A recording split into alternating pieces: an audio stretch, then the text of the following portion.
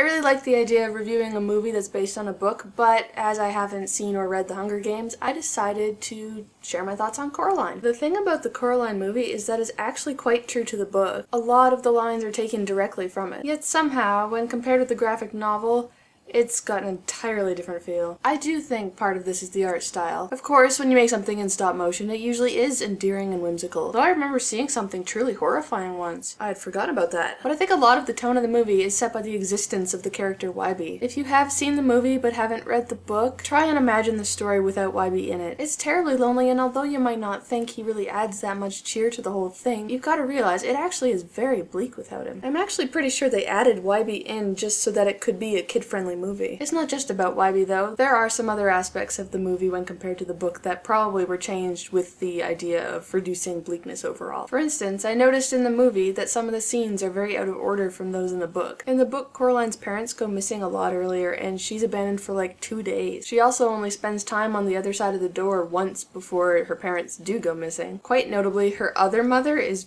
pretty sinister right from the start. In fact, every difference I can think of between the movie and the book seems to probably have been made to make it less freaky. All in all, the book is much creepier. Don't even get me started on the rats. Super creepy. I did like the movie, but I think I like the book better. That could be because I kind of enjoy unsettling things like that. I just think it's interesting that the story had to be tweaked so much because it's kind of just nightmare fuel otherwise. I would definitely recommend the movie to anyone, but I do think that if you feel up to it, you should find a copy of the book or the graphic novel, which are word for word the same and make an afternoon of reading it and being just a little bit too uncomfortable.